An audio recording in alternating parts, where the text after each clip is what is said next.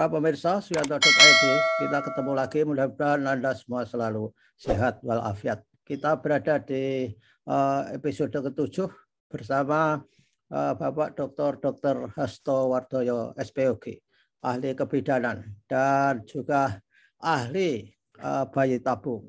Dan kita saat ini akan bincang-bincang mengenai apa manfaat plasenta buat selain bayi dan ini merupakan hal yang luar biasa. Uh, Pak Hasto Wardoyo akan mengurai dan mudah-mudahan kita bisa mengambil manfaatnya. Dan jangan lupa klik subscribe supaya Anda semua mendapatkan video terbaru dari beliau dan dari suyanto.id. Assalamualaikum warahmatullahi wabarakatuh, dokter. Waalaikumsalam warahmatullahi wabarakatuh. Oke, dok. Dan uh, kita sudah berbicara banyak mengenai siklus kehidupan sejak uh, seribu hari pertama sampai uh, mereka uh, remaja. Dan kali ini kami tertarik dok, kemarin dokter sudah memberi hints bahwa plasenta itu merupakan apa uh, suatu uh, sumber stem cell yang itu bisa ditaruh di mana saja dan bermanfaat bagi organ-organ yang rusak. Gimana dok ini penjelasannya dok? Monggo dok. Iya, jadi sebetulnya eh, bagian dari tubuh manusia itu ada yang bisa dipakai sebagai sumber untuk segala sel. Dalam hal ini sering disebut multipoten atau multi itu artinya banyak, poten itu ya sebuah potensi. Potensi untuk menjadi sel-sel apa saja yang ada di dalam tubuh kita. Nah, itulah yang kemudian kita sering dalam bahasa umumnya adalah stem cell atau sel puncak. Ya yang nanti akan tumbuh menjadi apa saja. Ya. Nah di dalam kehidupan ini kemudian ketika bayi baru lahir itu kita punya komponen namanya plasenta. Nah plasenta dan juga komponennya darahnya dari bayi yang yang ini ada di eh, biasanya di umbilical cord ya. Jadi umbilical cord itu kalau bahasa ininya tali pusat itu. Tali pusat. Itu darah dari tali pusat itu memang bisa diambil, kemudian dari darah tali pusat itulah yang akan diproses menjadi bagian dari uh, calon tadi uh, multipoten tadi. Jadi sebagai stem cell namanya umbilical cord stem cell. Jadi menjadi bagian dari stem cell yang bisa dipakai untuk si anak tersebut di kelak kemudian hari.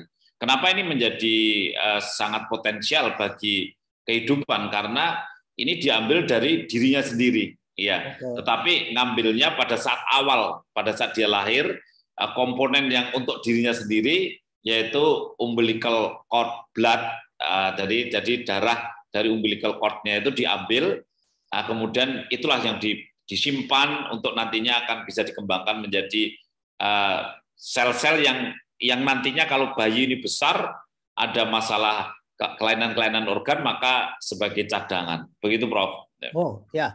Wah, luar biasa. Jadi ada apa? Part, ada derdil yang bisa disimpan uh, layaknya seperti mobil. Dok. Nah, kemudian dari umbilical cord itu tadi bisa nggak itu dicangkokkan kepada orang lain, dok? Apakah itu juga meng, uh, di reject kalau dikasihkan kepada orang lain yang memiliki masalah, misalnya ginjalnya, jantungnya, paru-parunya, menggunakan stem cell dari umbilical cord orang lain, dok?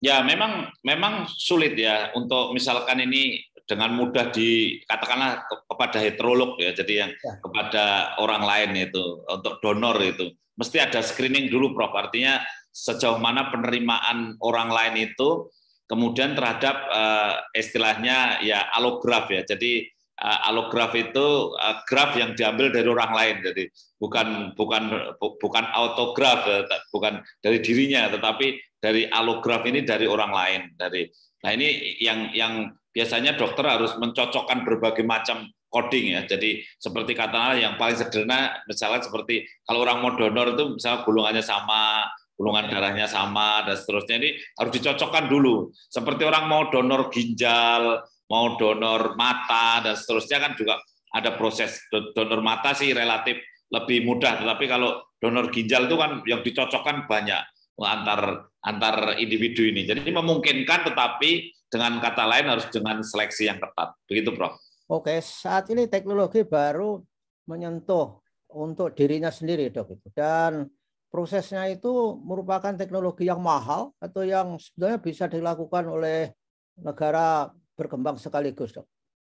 Ya, sebetulnya uh, agak relatif ya, Prof. Artinya ketika katakanlah sekarang ini misalkan kalau simpan beku itu uh, simpan beku katakanlah umbilical cord uh, stem cell misal begitu. Ini uh, misalkan biaya itu di bawah 25 juta itu bagi orang yang miskin mungkin ya berat ya, tetapi ya. Bagi orang yang beli mobil 250 juta aja dibeli, beli mobil 500 juta dibeli, sebetulnya nilai sekitar 25 juta itu sebetulnya apalah artinya gitu ya.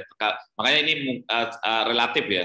Tetapi kalau menurut saya sih uh, sebagian kelompok masyarakat menengah ke atas bisa menjangkau ini, iya, bisa menjangkau lah. Memang yang kalau di Indonesia ini karena asuransi kesehatan itu masih sangat terbatas, tidak bisa totally raise di cover oleh asuransi, kadang-kadang mm, memang menjadi rasa berat itu. Tapi uh, ini sudah sangat memungkinkan dikembangkan di negara-negara seperti Indonesia. Ya, oke dok. Kemarin kan dikatakan bahwa yang uh, namanya plasenta itu adalah uh, merupakan barikade untuk ngeblok perilaku orang tua dalam hal makan atau apa sehingga uh, ketubannya itu bagus. Nah, umbilical cord ini apakah juga ada kaitannya dengan placenta sehingga dia selalu baik, selalu siap untuk digunakan, dibekukan untuk cadangan organ bagi si anak itu di masa depan atau masih di screening lagi, dok? Uh, ini sudah menjadi bagian dari janin, Prof. Jadi ya. uh, bagian dari bayi ketika dia sudah lahir. Karena uh, itu susunannya kan ada namanya plasenta, di sana ada filicorealis itu yang saya saya sampaikan sebagai barrier gitu. Ya. Sebagai barriernya itu namanya filicorealis itu bagian dari plasenta. Dari filicorealis yang sudah merupakan barrier itu baru mengalirlah uh, apa saluran ke janin atau ke bayi kalau udah lahir ya. uh, yang yang namanya umbilical cord atau tali pusat itu. Sehingga tali pusat ini sudah menjadi bagian dari fetal ini, bukan menjadi bagian dari maternal ya. Jadi, makanya ini sudah sudah yang terscreening oleh oleh uh, apa placenta atau oleh uh, namanya. Begitu. Ah di Indonesia prakteknya sudah banyak dok itu atau masih menunggu ya misalnya uh, uh, ya jadi ada ada beberapa center yang sudah kolaborasi dengan beberapa center di luar negeri juga. Ada yang beberapa klinik atau rumah sakit yang kerjasama dengan Singapura. Tapi seperti di Jakarta juga sudah ada mulai ada center-center yang tumbuh untuk uh, untuk ya untuk pelayanan sekaligus join untuk riset. Jadi sebetulnya di Indonesia sudah ada uh, inisiator-inisiator dari beberapa prinsipal obat biasanya yang kemudian juga mengembangkan laboratorium stem cell. Jadi ada beberapa prinsipal obat di Indonesia ini sudah mengembangkan dan kemudian memberikan riset dan pelayanan. Sudah sudah mulai Prof, sudah Indonesia. Dan itu saya kira kan tidak menutup kemungkinan ketika visibility-nya baik, itu ada investor yang mau menangani itu. Prospeknya kan ke depan jauh lebih lebih bagus dok itu. Di... Betul, betul. Jadi hanya butuh voluntary yang kuat karena ini juga uh, selain mungkin juga uh, katakanlah ini uh, bisa menjadi unit bisnis long term gitu, tetapi di awal-awal tentu investasinya cukup besar dan kemudian uh, waktunya cukup uh, butuh waktu, tidak bisa uh, katakanlah namanya investasi kadang-kadang pingin ada cepat break even point ya kemudian balik. Tapi kalau ini kan proyek kemanusiaan sebetulnya. Ya. Tapi saya lihat eh, apa prinsipal-prinsipal yang mengembangkan ini juga sudah dengan apa model-model tidak lagi semata-mata bisnis entrepreneurship model, tapi sudah human ya, human entrepreneurship model. Jadi memang dibutuhkan ya saya lihat di negara kita ini makin lama makin banyak orang yang uh, mempunyai social respon yang bagus. Jadi mulai bergeser ada mulai dari business entrepreneurship model lama-lama banyak yang bergeser ke social entrepreneurship model dan kemudian juga akhirnya sadar juga sampai pada human entrepreneurship model dan itu saya kira secara alami ya di negara-negara maju sudah orang banyak terpanggil uh, menjadi foundation foundation yang kuat itu ketika perusahaannya sudah besar dan bagi dia itu hal yang sangat mulia dan hal yang sangat biasa akhirnya. Iya, iya, iya, iya, ya. semakin banyak ya. Saya juga melihat eh, perusahaan besar-besar di negara maju itu menangani eh, berbagai persoalan-persoalan kemanusiaan, pendidikan ya, ya. dan sebagainya. Dok, ya, kalau ya. bukan dengan bayi tabung, dok, yang uh, dokter apa uh, lakukan sampai saat sekarang, itu tidak ada apa intervensi misalkan saja dari Eh, plasenta orang lain, bagaimana supaya kualitas bayinya baik, enggak enggak ada dok? Uh, tidak ada Prof. Jadi karena uh, di Indonesia juga mengerjakan istilahnya in vitro fertilisasi dan juga assisted reproductive teknologi itu sangat uh, ketat ya, sangat ketat. Kita tunduk dengan aturan-aturan para majelis ulama misalnya itu uh, taat betul itu sehingga di Indonesia tidak begitu mengenal dan memang tidak mengenal yang namanya donor-donor yang tidak dari pasangan suami istri yang sah. Ini ini ya anu apa memang eh, sampai hari ini memang sangat sangat taat dan baik lah di Indonesia sehingga tidak mengenal donor. Eh, dan plasenta memang bukan bukan domainnya untuk donor ya, Prof. Tapi dalam hal ini ketika embrio itu sudah terjadi secara in vitro fertilisasi di luar rahim, kemudian setelah itu umur tiga hari, maka sel itu sudah berkembang, ada mulai dari eh, ada yang kita katakan bisa menjadi morula, itu mendekati menjadi morula. Itu kemudian ketika kemudian ditransfer, dimasukkan ke dalam rahim ibunya sendiri, sumber telurnya sendiri, maka di sanalah akan kemudian namanya hatching. Jadi akan ada proses keluar dan membentuk plasenta oh. dan membentuk plasenta. Jadi plasenta itu dibentuk dari kekuatan dari embrio ini sendiri yang oh. kemudian membentuk uh, namanya filicoreles yang menembus ke dindingnya rahimnya ibunya sendiri. Kemudian akhirnya dia cari makan dari dinding rahimnya ibunya itu sendiri. Jadi uh, aslinya plasenta ini dikembangkan berkembang dari uh, aktivitas dari embrio begitu, Prof. Wah, luar biasa. Dok, sudah ada belum bayi tabung yang sekarang sudah mahasiswa, Dok? Yang yang Oh, oh sudah, Prof. Sudah. Jadi saya kira uh, kan di Indonesia ini kalau saya tahunya di Sarjito ya. Di Sarjito itu sudah mulai mengerjakan bayi tabung itu tahun 90 sudah mengerjakan. Jadi sudah sudah ada kelahiran-kelahiran bayi tabung tahun 1990 sudah sudah melahirkan bayi tabung ya di, di Sarjito sudah berkali-kali melahirkan bayi tabung sejak tahun 90-an sudah aktif Prof. Jadi kalau yang sekarang umurnya sudah ada 30 tahun, sudah sudah ada yang melahirkan hasil dari bayi tabung itu sudah ada yang punya sudah hamil juga. Nah, mudah sudah ada yang jadi bupati juga, Dok. Belum tahu. Nah, luar biasa. Dulu awal-awalnya bayi tabung kan menjadi berita yang luar biasa. Sekarang kelahiran bayi tabung kok sudah biasa saja nggak nggak diberitakan dok ya sekarang? Iya, sudah suatu proses yang ya itu dulu seolah-olah suatu yang luar biasa. Sekarang kan bayi tabung sudah biasa, layanan biasa. Ini hanya rekayasa teknologi reproduksi aja. Bagian dari rekayasa teknologi reproduksi yang yang dibolehkan ya dalam arti dibolehkan dari sisi ada agama. Nah, harusnya bayi tabung itu kan kualitasnya lebih baik dok karena semuanya terkondisi dan terkendali. Apa begitu dok? Ya ini ini pertanyaan yang bagus prof. Jadi eh, harusnya kita itu bisa eh, namanya eh, preimplantasi genetik diagnostik. Ya jadi eh, PGD ya. Jadi eh, sebelum implantasi sebelum menempel di dinding rahim ibu itu mestinya dilakukan genetik diagnostik. Jadi diagnosis secara genetik ya Nah, ini eh, mulai banyak berkembang. Jadi di Indonesia pun sudah mulai berkembang. Memang di negara-negara yang sudah lebih dulu mengerjakan bayi tabung, mereka sudah menjadi hal sehari-hari ini. Jadi ketika embrio itu baru menjadi katakanlah 4 sel terus menjadi 8 sel, maka dari itu bisa di, di sampling ini. Bisa di sampling uh, dari sel itu dicek dulu dia ada kelainan enggak gitu.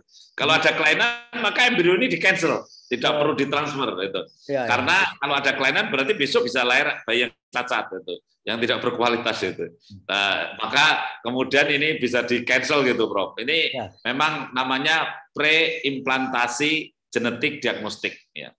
Wah, kalau itu sudah established ya teknologinya, mungkin orang-orang kaya itu bisa menjadi opsi dong untuk mendapatkan keturunan yang lebih baik, maka dia tidak secara alami tapi lebih memilih in vitro. Apa apa mungkin ya dok itu? Uh, kalau di negara-negara yang lain mungkin bisa ya seperti kata saya katakan di China, di Vietnam ya. Mungkin negara-negara yang sedikit eh, memang lebih ke arah ateis sedikit gitu ya. Nah, nah, tapi di negara-negara seperti negara kita ini banyak anu banyak perdebatan ya Prof. Artinya ketika begini, kalau saya membuat embrio tiga, kemudian ternyata yang dua itu embrionya nggak bagus. Ini kalau saya mintakan fatwa ini, kalau embrio yang nggak bagus saya bunuh, saya buang gimana itu? itu pasti menimbulkan perdebatan.